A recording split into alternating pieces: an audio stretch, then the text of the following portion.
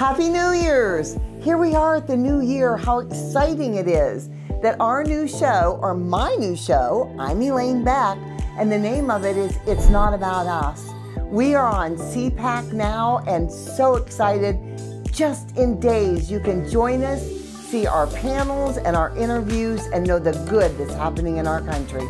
God bless you and see you there.